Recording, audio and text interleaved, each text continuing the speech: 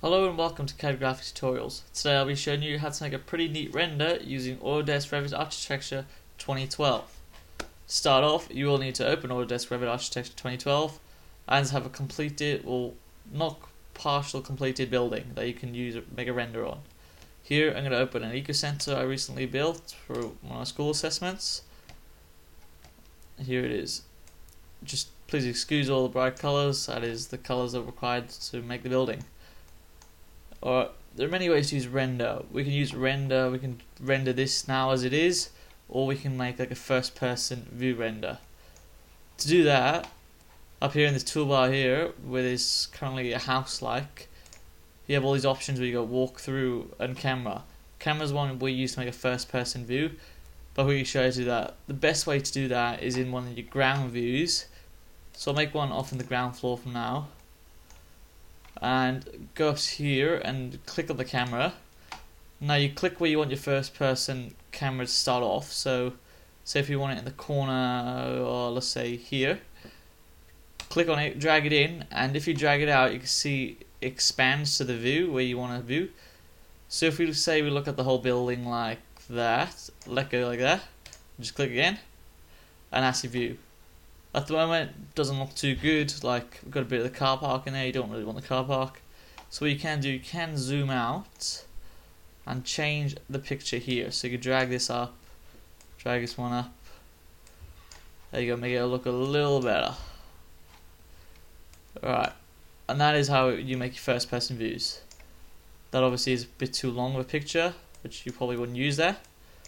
But what you can also do, you can, if you don't want it to be first person again, you can play around with this and it still does look pretty good.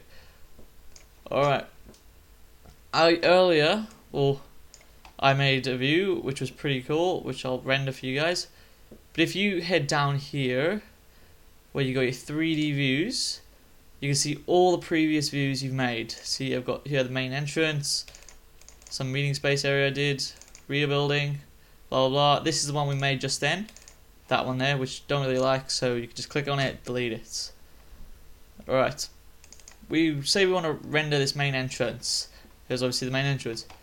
If you head to view, render, and you come up with this toolbox, the render toolbox here. To start off with, you could choose what quality render you'd like. Where you got draft being the crappiest, should I say, where it's not as good, and best obviously being the best.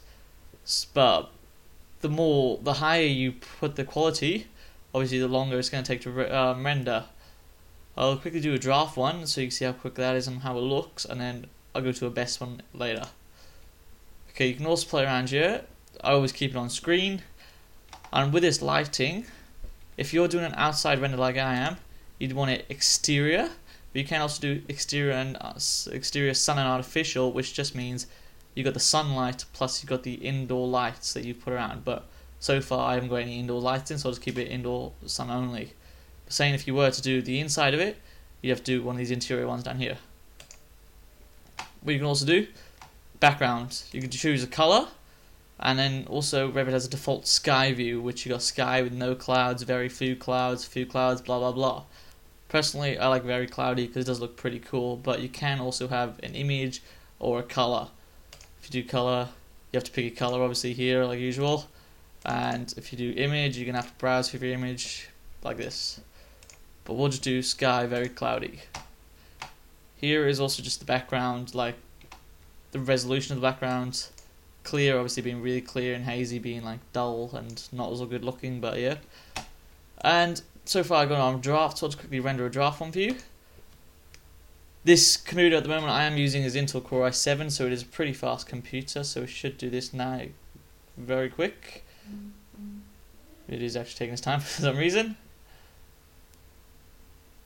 As you can see, it looks very dullish at the moment as it starts rendering, but it will fix up now. Alright as you see, it has got the clouds like we asked for, blah blah blah, and so on. When this is finished, I'll show you guys cool saving tips. Alright, that's draft resolution. As you can see, that's not something you really want to present in an assessment or business wise. But what you can do, say if this you're happy with this, well I wouldn't be, but if you're happy with this, you can save it. You can save it to the project, or you can export it. If you save it to the project, just enter the name and I'll show you where it saves later. But if you export it, you can export it into a file of your choice and you can save it as JPEG, bitmap, portable network graphics, or a TIFF file, so forth, so forth. So um, if you just cancel this, well, if you did save it to the image, um, to the file, this Revit file, it would come under here in renderings.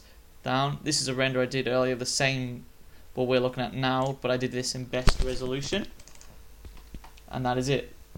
Um, if you guys have any questions, just put them in the comments. But otherwise, thank you for your time. I'll see you next time.